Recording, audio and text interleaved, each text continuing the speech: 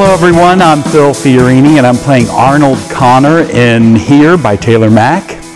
Welcome to my world. I'll be in a house dress for most of the play. Upside down, I've had a stroke. I speak in just terms of uh, words and utterances, and uh, I've been quite abusive to my wife and family in the past.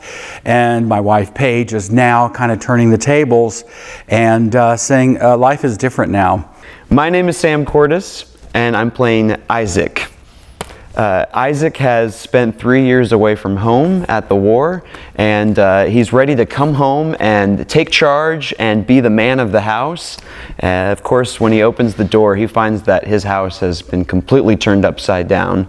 There's chaos everywhere, everyone has changed, and uh, he spends the rest of the play uh, trying to wrap his brain around what exactly is going on. Uh, working on this style of play is a lot of fun for an actor. Um, I think generally with every show, uh, the group is kind of trying to figure out what the style is, and uh, we're having a lot of fun doing that. Uh, Taylor Mac is an awesome playwright, and he gives us a lot of clues. Uh, at the end of the day, we're re trying really hard to just be as honest and truthful as possible. Uh, the absurd side of the absurdist realism part is is just a lot more fun. It allows us as actors to just be really big and kind of go there in ways that you're not really allowed to do in some place. I'm Ahafia Jurkiewicz Miles, and I'm playing Max in Taylor Mac's play Hir. Okay, the shadow puppets are ridiculously fun. Um, I've done I've done plays with uh, different puppets and shadow puppets before, um, but this is like on a different level.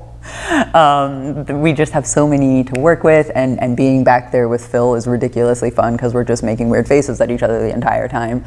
Getting to be a very physical character through Max is very joyful.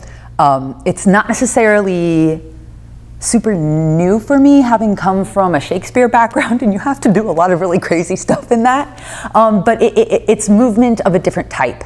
And it really challenges me to think about the ways that I'm using my body in space and how it is being perceived, which as a trans person I'm already thinking about, but as a, um, a trans person in an absurdist realism play, I have to think about even more.